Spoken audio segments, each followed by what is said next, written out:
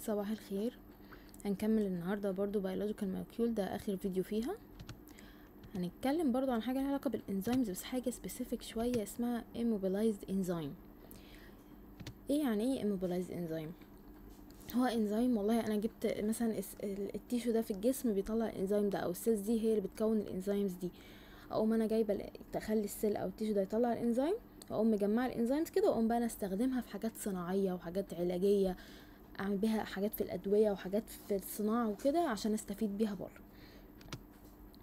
ده شكل الاموبلايزد انزيم الإنزيم هو النقط الحمراء دي والحاجة الأصفر ده هو دي المادة اللي بيشبكوا عليها الإنزيم. زي مثلا عارفين الجليكولا اللي عليها سكر نفس الحاجة هي كده الجليكولا دي ملزوق عليها السكر اللي هو ممكن نعتبره الإنزيم. ليه إحنا بنعمل كده؟ عشان بس نجمع نجيب حاجة صغيرة مجمعين فيها كمية إنزيمز كتيرة. عشان ما يبقاش الانزيمز سايبة كده مننا ما أصل هن- هنجمعها إزاي؟ لأ نقوم جايبين مادة نلزق عليها الإنزيمز دي عشان يبقى عندنا كده آه، كت يعني أو حاجة آه، جهاز مثلا متجمع فيه الإنزيم على بعضه متظبط أو أو أو آه، علبة مثلا فيها إنزيمز أو شريط ملزوق عليه الإنزيم كده عشان نعرف نستخدمها مش أكتر. طيب إيه الاستخدامات ال immobilized enzyme ده؟ هنستخدمه في ثلاث حاجات. أو مش في ثلاث حاجات بس يعني في ثلاث أمثلة ممكن نتكلم عليهم. لو في منكم يعرف حاجة اسمها lactose free milk في ناس بتتضايق من اللبن ما بتعرفش تهضمه كويس. ده بيبقى بسبب إن اللاكتوز اللي هو نوع الكربوهيدرات الموجود في اللبن ده المفروض إن في انزيم اسمه lactase بيكسره جوه الجسم عشان يعرف يهضمه في ناس بقى ما عندهمش ال lactase ده فاللبن تلاقيه بقى ضايقهم جاب لهم diarrhea وجع لهم بطنهم. في ناس بقى بتوصل بقى ال levels أعلى بقى يبدأ يطلع لهم حاجات في جلدهم وكده. فال lactase ده هو اللي. بيكسر لنا ال lactose ل glucose و galactose. طب الناس اللي ما عندهاش lactase دي مش هنشربها لبن؟ طب ما اللبن فيه فوائد كتير قوي إحنا محتاجينها. لأ نعمل لهم lactose free milk بمعنى إيه؟ بمعنى إن إحنا بنجيب كوباية مثلا أو طبعا بيبقى أجهزة كبيرة بس زي مثلا كوباية وحاطين فيها ال lactase enzyme ده والكوباية دي مخرومة من تحت. نكب فيها اللبن من فوق اللبن يعدي على ال enzyme ال enzyme ياخد كل اللاكتوز اللي يكسره ل glucose و galactose وينزل اللبن من تحت الكوباية آه، مفهوش لاكتوز خالص. كل اللاكتوز اللي فيه اتكسر. فيجي البني آدم ده يشرب اللبن يستفيد منه من كل حاجة وما يلاقيش فيه لاكتوز وجسمه ما يتضايقش منه. ده فكرة ال production of lactose free milk أو في صورة هتيجي كده ممكن توضح لكم أكتر. ال- الطريقة دي مش expensive خالص وعشان كده في lactose free milk كتير قوي في الدنيا يعني. حاجة تانية آه، بنستخدمها إن إحنا بنعمل sweetening لل food أو ال drinks اللي هو بقى إيه إحنا الحاجات اللي إحنا عصاير بنشربها والبونبونيهات والحاجات دي اللي كلها سكريات وكده بيستخدموا فيها الحاجة دي. في انزيم اسمه invertase بيكسر السكروز أو السكروز لجلوكوز وفركتوز فهم بيجيبوا الانزيم ده يعملوا منه ال invertase ده بيعملوا منه invert syrup ويحطوه آه، في المواد عشان تبقى مسكرة. عشان انت لو حطيته وكسرت ال sucrose ل glucose و fructose فهيبقى أصل ال glucose وال fructose مثلا الفركتوز ده هو الموجود في الفاكهة والفاكهة مسكرة فأنت عايز الطعم المسكر ده يبقى جاهز كده موجود في موجود في في الأكل يعني. فده بيعملوه على بيستخدموه علشان يخلوا الحاجات طعمها مسكر.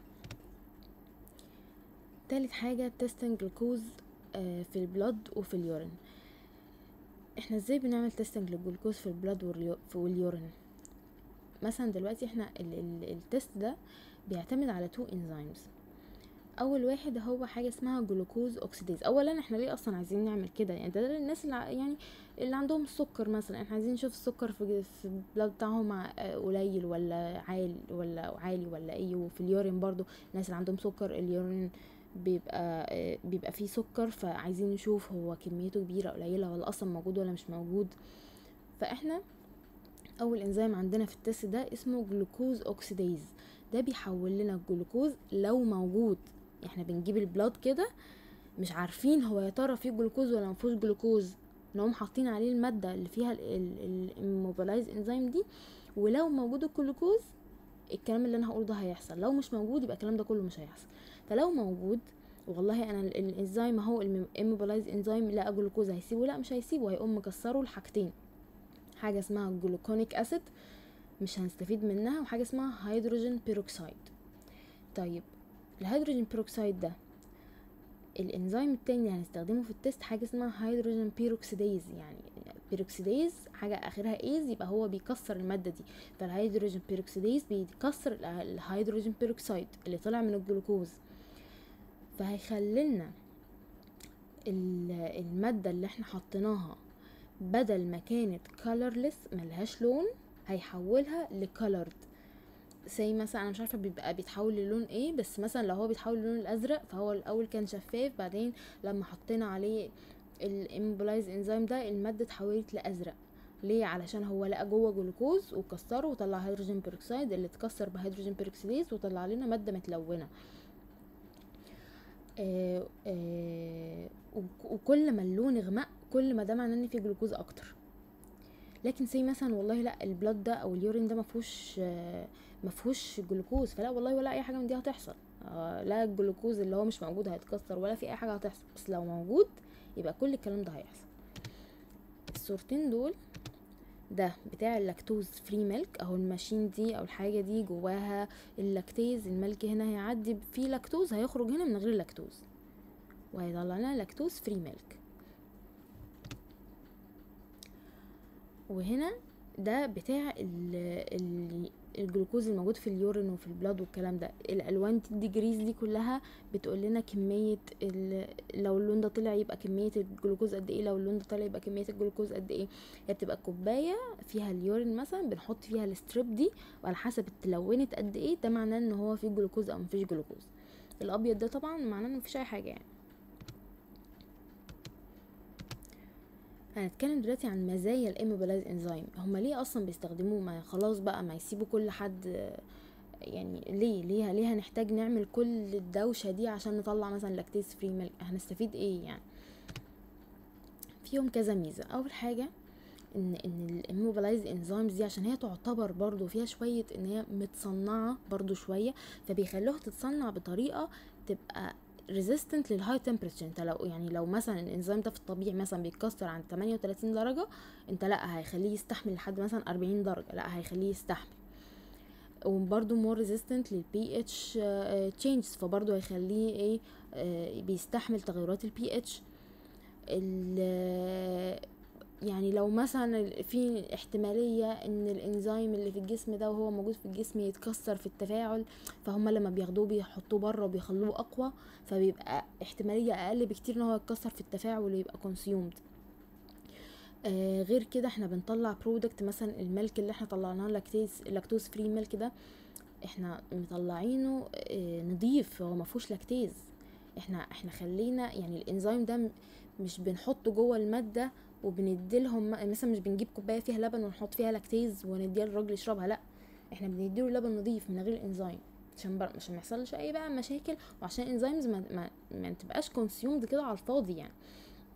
فال immobilized فكرة إن هو الانزيم شابك على حاجة و- ده ده هو ده اللي بيخليه إن إن إن ال product يطلع uncontaminated آه بعدين إن هو تقدر تستخدمه كتير.